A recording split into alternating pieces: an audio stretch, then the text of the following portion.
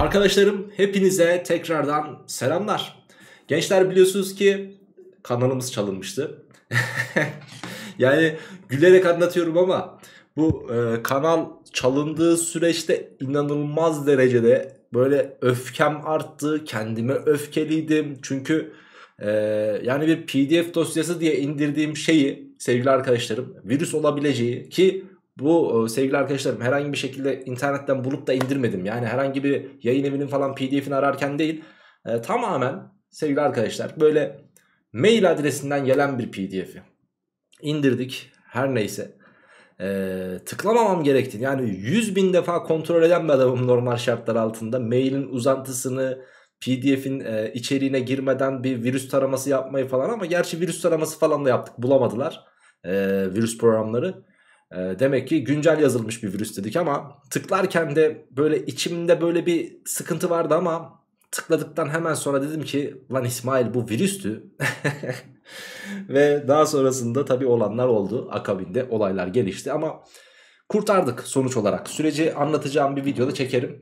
Ee, sonuç olarak kurtardık sevgili arkadaşlarım kanalı ve artık karşınızdayım. Nerede kalmıştık diye bir başlık attık. Ee, sizlere de sevgili arkadaşlarım normal şartlar altında biliyorsunuz e, hemen ertesi gün videolar gelecek dedim ama gelmedi. Yani bir gün gecikti videolar. Sebebi ise e, tabii şunu unutmuştum yani bilgisayarı sıfırladım. Eskisi gibi kurulu düzen değil. Yani e, bundan bir hafta önce bilgisayarın başına geçip işte açma kapama düğmesine basıp e, ortamı ayarladıktan sonra çat diye kaydı başlat deyip ders anlatmaya başlayabiliyordum tabii doğal olarak. Ama şimdi bütün ayarlamaları tekrar yaptan yapmam gerekiyordu. Ee, işte sahneler ondan sonra e, nedir onun ismi uygulama PDF Annotator uygulaması Adobe Premiere e, Adobe'un kendi uygulamaları Illustrator'dur e, Photoshop'tur her şeyi ama her şeyi Canva'dır her şeyi kendim şu an ayarlamak zorundaydım. Tabi bunları unuttum. Hatta şunu bile unuttum yani dedim ki Bilgisayarın başına oturdum. Tamam dedim programlar hazır hadi video çekmeye başlayayım. Yani kitabın pdf yok ki. Bilgisayarı sıfırladım. Kendi kitabımın pdf'i yoktu bilgisayarda o derece. Neyse diz, dizgici arkadaşımdan hemen e, pdf'i falan istedim gönderdi. Ancak bugüne nasip oldu. Ama merak etmeyin e, kamp programına sadık kalacağım ben. Onda hiç sıkıntınız olmasın. Hiç derdiniz olmasın. Tasanız olmasın. Geç kalmadan yine bir şekilde bitireceğiz arkadaşlar. Yaklaşık 4 gün falan video atmadık. 4 günde de sen kendine artık soru çözüm arası vermişsindir diye tahmin ediyorum inşallah. Nerede kaldık? Hocam artan ve azalan fonksiyonlarda kalmıştık. Türevin 7. videosundayız. 7. türev videosu artan azalan fonksiyonlar diye devam edeceğiz. Bunun türevle olan ilişkisini anlatacağız. Fonksiyonlarda sen yine görmüştün bu konuyu ama olsun. Türevle çok ama çok daha iyi anlayacaksın bunları diye tahmin ediyorum. Dolayısıyla artan azalan fonksiyonları bu videomuzda ele alacağız ve iki sayfa eşleyeceğiz sevgili arkadaşlarım. Kitabımızda sayfa numaralarını da hemen söyleyeyim ben sana. 150 ve 151. E, sayfaların çözümlerini ve konu anlatımını bu videomuzda yapacağız. Ben çok özledim sana ders anlatmayı. Hadi gel sen de eminim ki beni özledin benden ders dinlemeyi. Hadi gel beraber dersimize bir geçelim bakalım.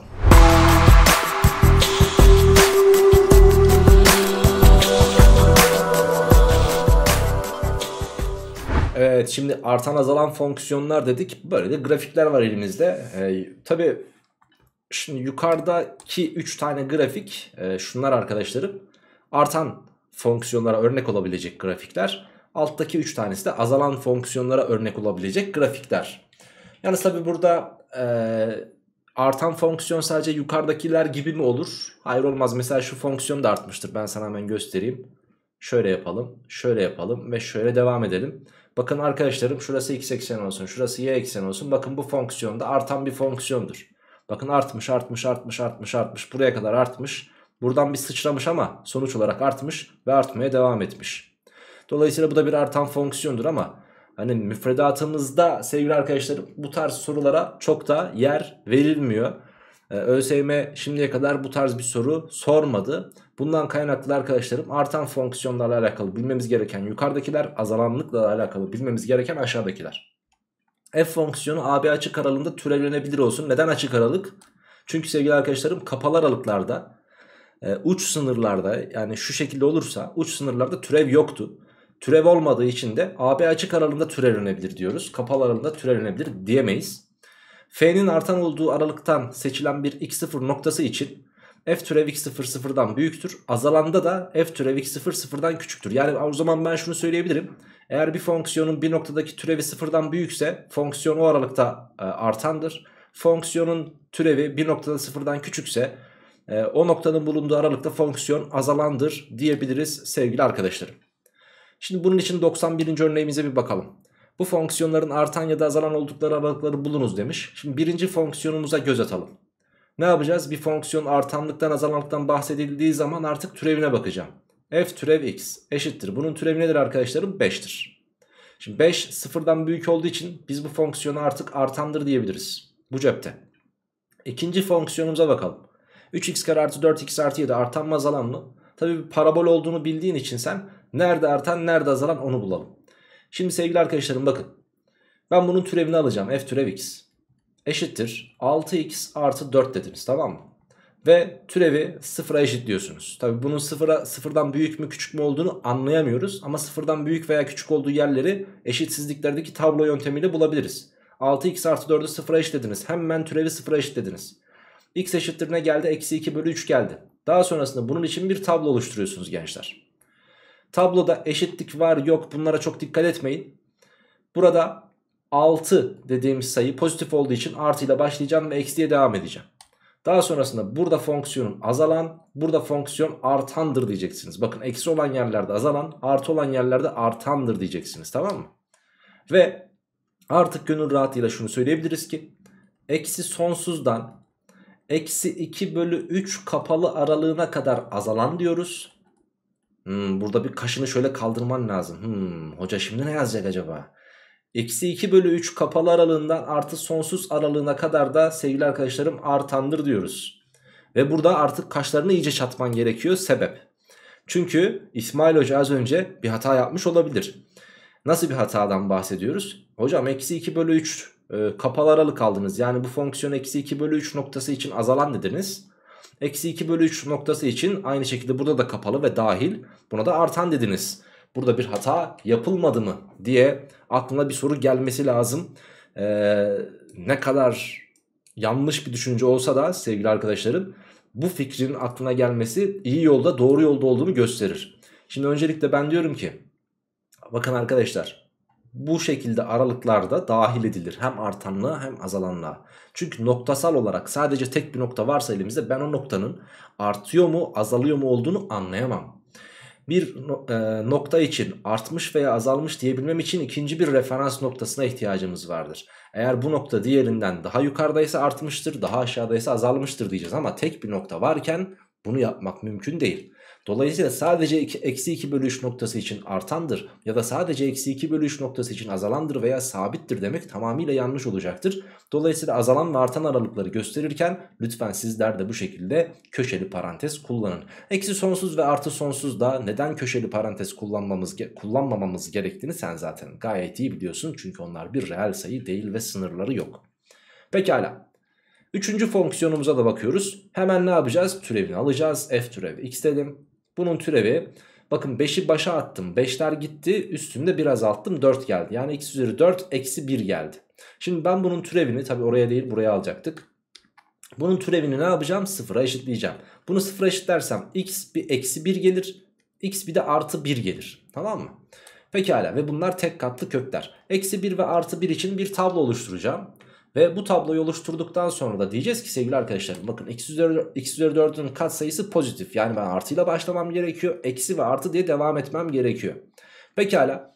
Burada fonksiyonun arttığını, burada azaldığını ve burada tekrar artmaya başladığını görebilirsiniz. O halde artan azalan olduğu aralıklar eksi sonsuzdan eksi 1'e kadar bakın yazıyorum. Eksi sonsuzdan eksi 1'e kadar tabii ki bu kapalı.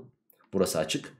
Birleşim diyorum burası artanlı ya bak burası da artan. Birleşim birden kapalı sonsuza kadar bu aralıkta bizim fonksiyonumuz artandır. Nerede azalandır? Eksi 1 ile 1 kapalı aralığında diyoruz sevgili arkadaşlarım. Bu fonksiyon azalandır diyebilirsiniz. Notumuza bakalım. AB kapalı aralığında bakın bu not çok önemli. AB kapalı aralığında artan bir fonksiyonun bu aralıkta türevini sıfır yapan değerlerin sayısı eğer ki sonlu adet ise türevi sıfır yapan noktalar fonksiyonun artanlığını bozmaz. azalanlığını etkilemez. Hiçbir şekilde artanla azalanlığa bir etkisi yoktur diyoruz. Bunun için de tabi bir örnek göstermek şart.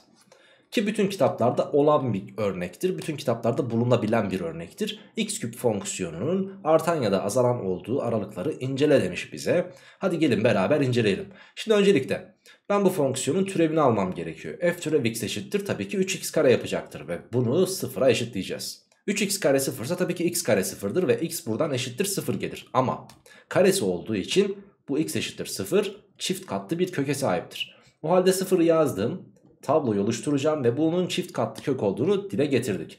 Pekala şimdi ise burası artı burası eksi dedim. Doğru mu? Değil çift katlıydı artı dedik. Neden artı? Çünkü 3 ile başlamıştık pozitif. Pekala bakın fonksiyon artarken şurada bir sabit kalır gibi olmuş ama tekrardan artmaya devam etmiş. Zaten x küp fonksiyonunun grafiğini gözünüzün önüne getirirseniz eğer bakın şöyle bir grafiktir. Hop. Şöyle bir grafik. Şimdi arkadaşlar bakın artmış artmış artmış artmış artmış tam böyle sabit kalacak gibi olmuş sonra artmaya devam etmiş. Sadece bir nokta için bu geçerli. Ee, dolayısıyla bunun türevi her yerde pozitif değildir. Sıfır olduğu nokta da vardır. Bakın her yerde pozitif gibi duruyor ama burada sıfır olduğu bir nokta da var. Ama sıfır olan nokta sayısı türevini sıfır yapan nokta sayısı sadece bir tane. İki tane olsaydı yine tamamen artandır diyecektik. 5 tane olsaydı yine artandır diyecektik. 18 tane olsa yine artandır diyecektik. Yani aşağıdaki notta da belirttiğimiz gibi diyor ki eğer diyor sıfır yapan değerlerin sayısı sonlu adet ise sonlu adetten kastımız ne peki bizim? Tabii ki şu sayılabilir çoklukta sayılabilir çoklukta. Yani 1 milyon tane olsa evet yine artandır diyeceğiz. Çünkü sen 1 milyona kadar sayabilirsin sonludur bitmiştir tamam eğer sonlu tane varsa her daim bu fonksiyon artandır veya her daim azalandır diyeceksin. Şimdi 93. örneğimize bakalım. x küp eksi ax kare artı bx artı 9 fonksiyonu veriliyor. F fonksiyonunun azalan olduğu en geniş aralık neresiymiş? Eksi 2 ile 6 kapalı aralığıymış. Buna göre a artı b toplamı soruluyor bize. Şimdi arkadaşlarım artanlıktan azalanlıktan bahsediyorsa hemen tabii ki türevine bakmamız gerekiyor. f türev x 3x kare eksi 2ax artı b diyoruz. Ve bunu sıfıra eşitleyeceğim. Şimdi buradan benim kök bulmam gerekiyor açıkçası. Ama bu kökü de bulurken tabii sevgili arkadaşlar ne yapmam gerekiyor? Ee, ikinci dereceden olduğu için şu şekilde ayıracağım ve iki tane kök bulacağım. O iki tane kökü x1'i ve x2'yi tablo oluşturup artıyla başlayıp eksi ve artı diyeceğim. Şurada artıdır, artandır, burada azalan ve burada artan diyeceğim. Artan olduğu en geniş aralık zaten şu kısım olduğu için demek ki benim azalan olan en, en geniş aralığım x1 virgül x2 kapalı aralığı olacak. Ki bu aralık zaten eksi 2 altının ta kendisidir çünkü soru bize vermiş. O halde buradaki köklerimizden bir tanesi eksi 2 öteki de 6'ymış. O halde arkadaşlarım şunları sildim. Bakın artık sen şunun e, şunun ikinci dereceden olduğunu biliyorsun. İkinci dereceden denklemin köklerini de biliyorsun artık eksi 2 ve 6 diye. O halde kökler toplamı yani eksi 2 ile 6'nın toplamı 4 yapar ya hani. Burada eksi b bölü a'yı vermiyor muydu bize? Aynen eksi b bölü a'mız ne burada? Eksi eksi 2a'dan 2a bölü 3 eşittir kaçmış 4. O halde arkadaşlarım burada 2a eşittir 12'dir ve a eşittir 6 gelecektir. Bu cepte. Daha sonrasında bir de kökler çarpımı. Eksi 2 ile 6'nın çarpımı eksi 12 yapar. Ve bu da bize c bölü a'yı vermek zorunda. Demek ki eksi 12 eşittir. c'miz burada b. a'mız da 3. Demek ki b kaçmış? Eksi 36'nın ta kendisiymiş. O halde a 6 idi. B de eksi 36 idi. İkisinin toplamı sorulmuş. Doğru cevap eksi 30'un ta kendisi olacaktı. Evet gençler 94. örneğimize geçtik. Yukarıda fx fonksiyonunun grafiği verilmiş. E buna göre f fonksiyonunun artan olduğu en geniş aralık. Hadi bir boşluk dolduralım buraya bakalım. Artan olduğu en geniş aralık soruluyor bakın. Nerelerde artan bu fonksiyon? Şuradan başlamış bakın. Yeşille gösterelim bunu. Şuraya kadar artmış. Bir de buradan başlayıp sevgili arkadaşlarım şu kısma kadar arttığını görüyoruz. Nerelerde azalan onu da kırmızıyla gösterelim. Bakın şurada azalan ve tabii ki şurada azalan. O halde sevgili arkadaşlar x ekseni üzerinden baz alıyoruz bunu. Artan olduğu en geniş aralık eksi 7 kapalı aralığından eksi 4 kapalı aralığına kadar birleşeyim. 3'ten 7'ye kadar olan kapalı aralık. Azalan olduğu aralık da ha, yanlış mı yazdım çok özür dilerim. Burası azalanmış şurası azalan. Neresi? Eksi 4'ten eksi 1'e kadar diyeceğiz değil mi? Öz, özür dilerim sizden. Eksi 4'ten eksi 1'e kadar artmış ve 3'ten 7'ye kadar artmış. Nerede azalmış? Eksi 7 ile eksi 4 aralığında azalıyor ve birleşim eksi 1'den 3'e kadar azalmış diyeceğiz sevgili arkadaşlar. Evet 150. sayfamızı bitirdik. Sayfamıza şöyle uzaktan da bakalım her zaman olduğu gibi. Daha sonrasında devam edeceğiz sevgili arkadaşlarım 151. sayfayla. 151. sayfada 95. örneğimize bir bakalım. Demiş ki yukarıda AB kapalı aralığında fx'in grafiği gösterilmiş. Bakın mühim bir soru. Ee, sınavda çıkabilir bir tarzda bir soru mu? Ee, bence hayır. Bir kere çıktı zaten. Bir daha bu tarz bir soru sorarlar mı zannetmem ama denemelerde, soru bankalarında, fasiküllerde sıkça karşılaşırsın. Hatta yazılılarda bile karşılaşabilirsin o derece. Dolayısıyla iyi dinlemende fayda var. Çok ama çok iyi dinle. Arkadaşım bak. AB kapalarında fx'in grafiği verilmiş ya. Ben bu grafiğe bakarak neleri yorumlayabilirim bir bakalım. Bakın AB arasından seçilen x'ler. Şuradaki x'ler. Pozitif. fx fonksiyonumuzun kendisi x ekseninin altında kaldığı için negatif. f fonksiyonumuzun türevi ise azalan bir grafiğe sahip olduğu için tabii ki sıfırdan küçük yani negatif diyeceğiz. Şimdi ben bunları biliyorum. Peki neleri bulmam hedefleniyor? Buna göre demiş 5 tane fonksiyon vermiş artanlık azalanlık bakımından incele demiş. Şimdi birinciyi bir inceleyelim arkadaşlar. Şöyle 1 diyelim ve başlayalım incelemeye. Öncelikle x çarpı fx fonksiyonumuz var. x çarpı fx fonksiyonun artanlığını azalanlığını inceleyebilmem için her zaman olduğu gibi türevine bakacaksınız.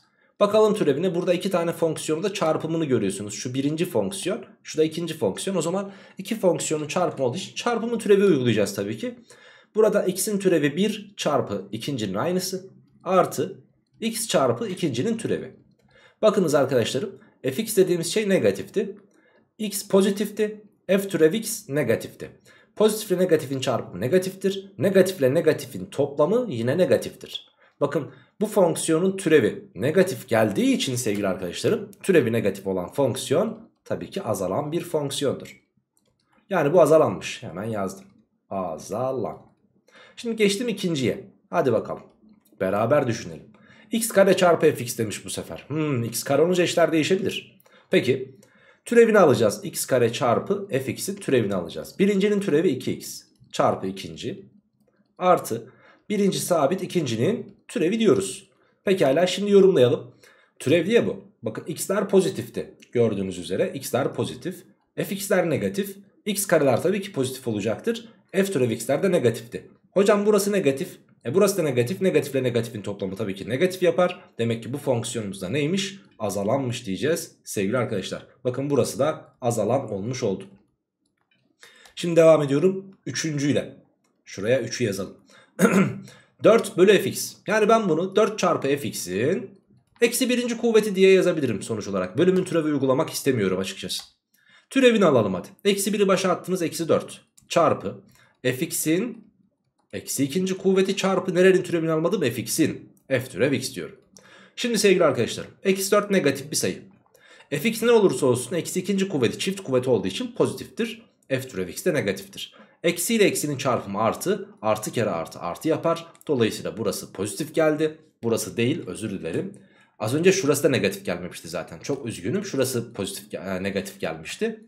Burası sevgili arkadaşlarım türevi ne oldu? Sıfırdan küçük oldu. Yani bu fonksiyonumuz bu sıfırdan büyük olduğu yani bu fonksiyon artandır diyebiliriz artık. Şimdi devam ediyorum dördüncüyle. Dördüncüde ise sevgili arkadaşlar hangi fonksiyon var? x kare artı fx var. Bakın hadi bunun türevini alalım şimdi. Bunun türevi de 2x artı f türev x'tir. Bakınız arkadaşlarım 2x x'ler pozitif olduğu için pozitiftir f türev x de zaten negatif olduğunu biliyorduk. Artı ile eksinin toplamı hakkında çok da yorum yapılamaz. Yani sayısal olarak hangisi büyükse sonuç onun işaretinden olacaktır ama hangisi büyük bilmiyoruz. Dolayısıyla bu fonksiyona daima artandır veya daima azalandır diyemeyiz. Yorum yapılamaz diyeceğiz. Ve beşinciye bakıyoruz. f kare x demiş. Beşinciye şurada bakalım. f kare x için sevgili arkadaşlarım türevini alıyorsunuz. 2 çarpı fx çarpı f türev x oldu. Bakınız 2 pozitifti. fx negatif ve f türev x negatifti. Çarparsanız arkadaşlarım bunların hepsini pozitif gelir. Yani sıfırdan büyüktür. Yani bu fonksiyonda artanmış diyebiliriz artık. Evet böyle bir soru daha öncesinde çıkmıştı. Ee, biz de sevgili arkadaşlarım sizler görün diye buna benzer olan bir soruyu yazdık ki e, çoğu denemede, çoğu soru bankasında, çoğu fasikülde, çoğu yazılıda e, hocalar, yazarlar yazmayı seviyorlar. Size sormayı seviyorlar arkadaşlarım. E, doğaldır. Çünkü e, tek seferde bir sürü şey tekrar etmiş oluyorsun. Bu da bizi geliştiriyor açıkçası. 96. örneğimizdeyiz. Gerçel sayılarda tanımlı fx fonksiyonunun türevini vermiş bize bakın. x kare eksi 6 x eksi 7 bu sefer türevi vermiş. Diyor ki yorulma diyor türev almakla falan uğraşma aman hata hata yaparsın diyor. Türevini verdim ben sana direkt diyor. 1, 2, 3 bu ifadelerden hangileri doğrudur diye sorulmuş. Şimdi sevgili gençler bakın.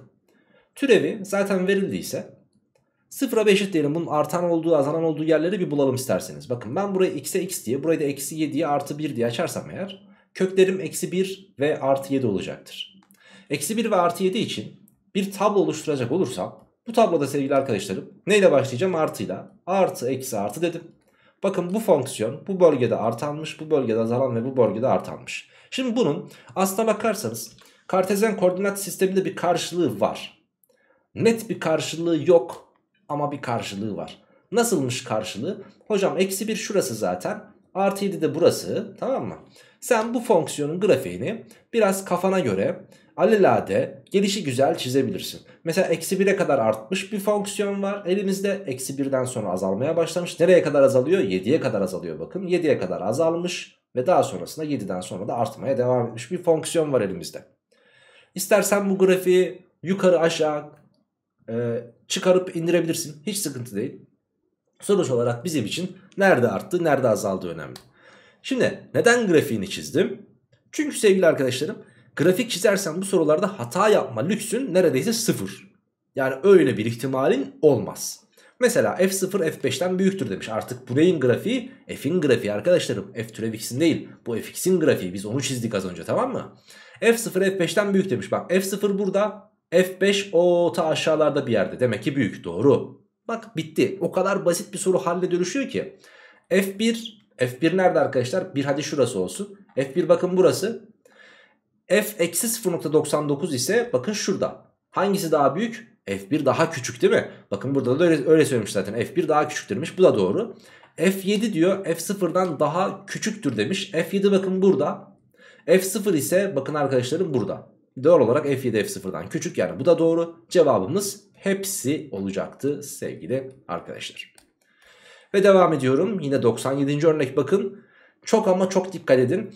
Ben bu soruları çözerken özellikle e, sizlere ben e, bu sorularda nasıl bir yaklaşım uyguladığımı, ilk neyi yaptığımı da söyleyeceğim. Şimdi bana diyor ki bakın yukarıda f türev x'in grafiği verilmiştir diyor. f türev x demiş bak. Ha. Şimdi çoğumuz burayı şu ilk cümleyi alelade okuruz. Yukarıda fx'in grafiği verilmiştir. Hmm, tamam. Buna göre fonksiyonun artan ya da azalan aa ne kadar kolay soru. Nerede artmış? İşte şuradan başlamış buraya kadar artmış. Şuralarda da azalmış işte. Bak burada azalmış burada azalmış. Ya tabii öyle. Tabii kesin öyledir yani. 10 numara 5 yıldız çözdün soruyu. Ulan bu f, f türev x'in grafiği fx'in değil. O yüzden buna dikkat edeceksin. Ben de dahil olmak üzere çoğu zaman bunu unuttuğum için artık bu tarz bütün sorularda son 4-5 senedir ben kendimce buna bir işaret çakıyorum. Diyorum ki şöyle yapıyorum ne bileyim yanına şimşek çiz, ünlem koy, ne bileyim çiçek çiz. Bir şey yap yani. F türev x bu. Bunu unutma. Bunu görmezden gelme tamam mı? Gelemezsin zaten. Şimdi artan azalan olduğu aralıkları bul demiş ya. Bakın çok basit. Fonksiyonun türevinin pozitif bu türev ya. Pozitif olduğu yerler neresi? Bak şuralarda pozitif. Negatif olduğu yerler bak buralarda da negatif. Negatif negatif negatif sıfır olmuş ama devam etmiş negatif olmaya. E peki o zaman artı olduğu yerlerde fonksiyonumuz artandı. Türevin artı olduğu yerlerde artandı. Türevin negatif olduğu yerlerde azalandı. E madem öyle eksi sonsuz dağın eksi 2'ye gelene kadar bizim fonksiyonumuz artan. Eksi 2'den eksi 2 dahil eksi 2'den sonsuza kadar da bizim fonksiyonumuz azalan. Ya hocam burada bir sıfır falan olmuş. O zaman ben de sana bir önceki sayfamızdaki kuralı hatırlatmak zorunda kalacağım. Eğer sonlu adetse artanla azalanla bir etkisi yoktu. Ki burada da zaten türevi sıfır yapan nokta adedi 1, 2 tane. Başka yok arkadaşlar. Dolayısıyla bunun artanla azalanla etkilemiyor. Ve devam ediyorum 98. örnekle. Bakın burada da küçüktür büyüktür işaretleri koyacağız. Bakalım hangisi büyükmüş hangisi küçükmüş ama dikkat et bak f türev x. Yukarıda f fonksiyonu türevinin grafiği verilmiştir. Buna göre aşağıdaki boşlukları büyüktür ya da küçüktür işaretlerinden uygun olanıyla doldurunuz demişiz. Şimdi buna dikkat. Ee, birkaç sayfa sonra sizlere şöyle bir çalışma yapacağız bakın. Nerede o? Böyle bir çalışma yapacağız. F fonksiyonunun e, f'in türevi verildiği zaman f fonksiyonuna nasıl ulaşırsın? F'in türevi verildiği zaman f'in ikinci türevine nasıl ulaşırsın diye bir çalışma yapacağız.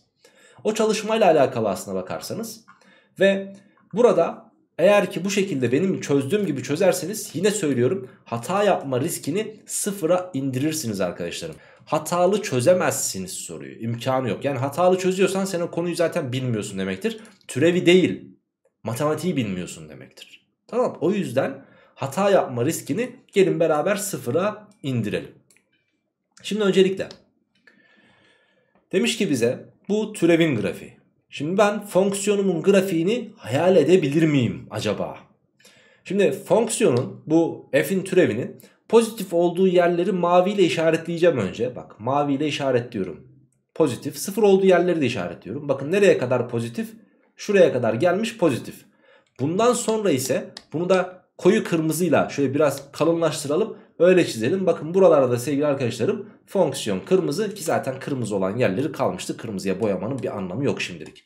Şimdi fonksiyon mavi bölgede türevi art, e, pozitif kırmızı yerde negatif türeve sahip. Yani arkadaşlarım bizim fonksiyonumuz aşağı yukarı kaba taslak şöyle. 1'e kadar 1'e gelene kadar artmış artmış artmış artmış. Birden sonra bu fonksiyon hop tepe taklak azalmaya başlamış. Bakın birden sonra bu fonksiyon azalmaya başlamış. Aşağı yukarı buna benzer yani en azından artanlı azalanlı buna benzer bir fonksiyon çıktı elimize. Bakın bu artık fx'in grafiği. Tamam 10 numara 5 yıldız çözüm. Şimdi artık burada verilenleri çok rahatlıkla yazabilirsin. Bak mesela demiş ki f-4 ile f-2'yi kıyasla. Arkadaşım f-2 şuraya gidiyor. Eksi 4 şurada bir yerde o da buraya gidiyor. f-4 daha küçük. Bak bitti. Eksi 1 bölü 2 ile 0. Eksi 1 bölü 2 nerede? Şurada. 0 nerede? Hop şurada. Eksi 1 bölü, e, eksi 1 bölü 2 de özür dilerim. Eksi 1 bölü 2 şurada. 0 nerede? Burada. Eksi 1 bölü 2 daha küçük o zaman. E, eksi 1 bölü 2'nin görüntüsü daha küçük. Eksi 2 ile eksi 1 bölü 2. Eksi 2 burada. Eksi 1 bölü 2 burada. Hangisi daha büyük? Eksi 1 bölü 2 daha büyük. Bak gördün mü? F0 ve F1. 0 burada. 1 tepede. O demek ki 1 en büyüğü 1 zaten 1'in görüntüsü. Devam. 1 ile 2'yi kıyasla demiş. En büyüğü 1'di. Dolayısıyla artık büyüktür diyebiliriz. Bak 1 burada, 2 burada. Ve F2 ile F3. F2 burada, F3 burada. Hangisi daha büyük? Tabii ki F2 daha büyük. Dolayısıyla buna da büyüktür yazacağız sevgili gençler. Bakın bir sorunun çözümü ne kadar basit hale getirilebilir. İşte hani şuradaki grafiği çizdik ya. O grafiği çizmemizin gündelik hayattaki karşılığı ne biliyor musun? Eğer ben sana bu çorabı iplik iplik haline getir diyorsam sen o çorap söküğünün ucunu buldun. Ve o çorap söküğünün ucunu bulduktan sonra ki asıl zor olanı budur zaten. Ucunu bulduktan sonra bir çekersin çorap zaten tıkır tıkır tıkır tıkır tıkır tıkır atmaya başlar. İşte bu da olay bu. Şuradaki çizdiğimiz fx fonksiyonu o çorabın söküğünün ucundaki o boşta olan iplik arkadaşlar. Eğer bunu ucundan yakalayabilirseniz devamı zaten çorap söküğü. Anlaştık mı? Pekala. Devam. 99. örnek. Bir sonraki sayfamıza şöyle bir bakmak istiyorum. Tamam güzel sıkıntı yok. Devam. 99. örneğimizde bize denmiş ki yukarıda verilen f fonksiyonunun grafiğine göre Aynen. 3 tane öncül var. Hangileri doğrudur diye soruluyor. 1-5 kapalarını da artanmış. Bak bu fonksiyon. F yani. yani F'in türevi falan değil. 1'den 5'e kadar artan mı bakalım. Şimdi 1'den başlamış artmaya. Evet artmış, artmış, artmış, artmış, artmış, artmış, artmış, artmış. Bunun dibine kadar artmış. Sonra bir sıçramış buraya gelmiş ama buradan da sonuçta buraya artmış. E buradan da şuraya sıçramış ama yine de artmış. Ve artmaya devam etmiş. E o zaman bu fonksiyon 1 ile 5 arasında artan. Öyle kopmasının falan bir önemi yok. E hocam türev yok orada. E olsun sıkıntı yok. Artmamış mı? Artmış sonuçta. Bizim için yani artanlık demek türev demek değildir. Türev artanlığı azalanlığa yardımcı yani bunları bulmamıza yardımcı olan bir argümandır sadece. Artanlık azalanlık direkt türev değildir. Tamam onu unut bir kere. Devam. X eşittir 3 noktasında limit yoktur. E, limit var mı bakalım. Bak 3'ün sol limiti buraya sağ limiti buraya gitmiş. Limit yok. Evet doğru. 1 ile 5 kapalı aralığındaki her türev e, her x'in türevi için türevlerin hepsi pozitiftir demiş. Ya güzel kardeşim bir kere 3 noktasında türev yok ki. Dolayısıyla 3. öncül cortladı. Cevap 1 ve 2 olacaktı sevgili arkadaşlarım. Devam ediyorum. 152. sayfamda 100. örneğim artık. Bu fonksiyon gerçel sayılarda daima artan olduğuna göre a'nın en küçük tam sayı değeri kaçtır diye sormuş. Daima artan. Daima. Yani bunun türevi daima pozitifmiş ya da sıfıra eşitmiş. Sıfırdan büyük veya eşit diyeceğiz. Bakın bunu bazı kaynaklar bazı kaynaklar sıfırdan büyük olarak alıyor. Daima artan sıfırdan büyük. Ya bak 100 kere söylesem 1000 kere de söylüyorum 100 bin kere de söylüyorum. Türevi sıfır yapan nokta adedi eğer sonlu adetse artanla azalanla etkilemez. Dolayısıyla sen burada türevini sıfırdan büyük veyahut eşit alacaksın. Tamam. Peki devam. fx fonksiyonu buymuş. Bunun daima artan olabilmesi için türevinin sıfırdan büyük veya eşit olması gerekiyor dedik. Hadi gelin türevine bakalım o halde. Bunun türevini alalım. x küpün türevi 3x kare. Eksi 4x karenin türevi eksi 8x. 2a artı 1x'in türevi de 2a artı 1. Bunun sıfırdan daima büyük veya eşit olduğunu biliyoruz. Eğer ikinci dereceden bir fonksiyon sıfırdan daima büyük veya eşitse bu denklemin deltası tabii ki sıfırdan daha küçük olmak zorunda. O halde deltasına bakacağız. Deltamız neydi? b kare eksi 4ac. Pekala. Bunun sıfırdan küçük olması gerekiyor dedik. Ve şimdi devam ediyorum arkadaşlarım. Ee, tabii sıfırdan küçük ama bu bu ifade daima pozitifken geçerli sıfıra da eşit olabiliyorsa deltası sıfırda olabilir. O halde delta sıfırdan küçük veya eşittir diyeceğim. Delta sıfırdan küçük veya eşittir dedik. Pekala. Sonuçta deltanın sıfıra eşit olduğu anda fonksiyon x eksenine bir kere değiyor ve daha sonrasında devam ediyor. Değil mi? Yani deyip kaçıyor. Ve dolayısıyla türev olduğu için artı artı mesela şöyle olsun. Şöyle bir fonksiyon hayal edin. Bunun deltası sıfırdır değil mi? Şimdi bu f'in türevi. Deltası sıfırsa bak artı artı artı artı gelmiş hop artı diye devam ediyor. Bir kere sadece şurada sıfır olmuş ama türevini sıfır yapan değerlerin sonlu adet olması artan azalanını etkilemiyor diye 40 bin defa da söyleyebilirim. Pekala. B kare eksi 8'in karesi 64 eksi 4 çarpı 3 çarpı 2 a artı 1 ne dedik sıfırdan küçük veya eşittir. Peki burada arkadaşlarım 4'e bölerseniz 16 eksi 16 eksi 3 parantezinde 2a artı 1 sıfırdan küçük veya eşittir dedim. Ve daha sonrasında sevgili gençler ne diyoruz artık? Şunu karşıya atabilirsiniz ya da 16 eksi 6a eksi 3 diyebilirsiniz. Sıfırdan küçük veya eşittir. Buradan 6a büyük veya eşittir 13 gelir. a büyük veya eşittir 13 bölü 6 gelecektir sevgili arkadaşlarım. 13 bölü 6 dediğimiz sayı 2 küsür bir sayıdır. Ve bu iki küsür sayının sevgili arkadaşlarım iki küsür sayıdan daha büyük olan en küçük a tam sayı değeri tabii ki minimum a eşittir 3'tür diyebiliriz sevgili arkadaşlarım. Cevabımız 3 olacaktı. Devam ediyorum 101. örneğimle. 101. örnek bu videonun son sorusu arkadaşlarım. Yaklaşık olarak 34-35 dakikadır da dersteyiz. E, soruyu bitirdiğimizde 40 dakikaya yakın ders yapmış olacağız ideal bir ders süresi bence 101. örneği de çözdükten sonra artık diğer videomuzu beklemeye başlayabilirsiniz. Hemen arkasından geldik zaten. Şimdi fx fonksiyonumuz buymuş. 2x bölü x kare artı 1'miş arkadaşlar. Peki fx fonksiyonun artan ya da azalan olduğu aralıkları bulunuz. Hemen ne yapacaksın? Türevini alacaksın. f türevi x ve 0'a eşitleyeceksin. Üst tarafın türevi bölümün türevi uygulayacağım burada. 2 çarpı x kare artı 1 aynısı.